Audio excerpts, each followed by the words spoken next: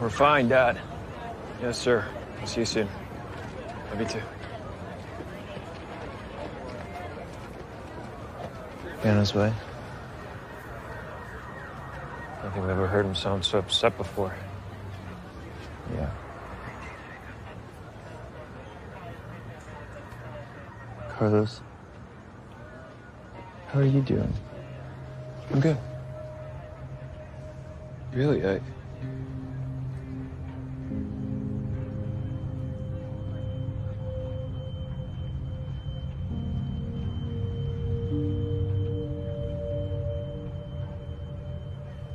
I didn't think we were gonna make it out.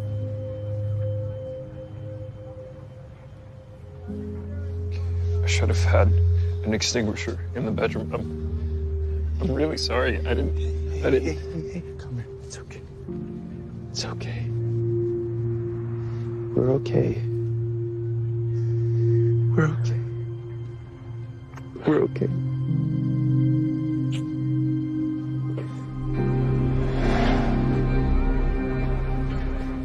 Try not to scratch the blisters. They should fully heal in a few days. Great, thank you. Good to see you again, Holly. You too, Captain Vega. Thanks.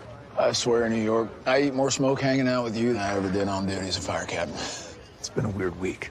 Best damn week of my year, I'll tell you that. Kelly, I don't think I've ever seen anyone smile so big and have so many second degree burns. well, these are the least of my medical concerns, Vega. That was my last ride in. It's a hell of a ride.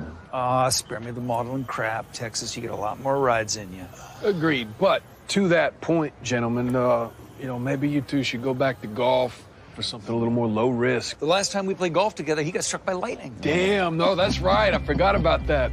Well, I guess you two were really just a couple of crap magnets, ain't you? Yeah, we do have a good time, though. I guess we do. you two are hopeless.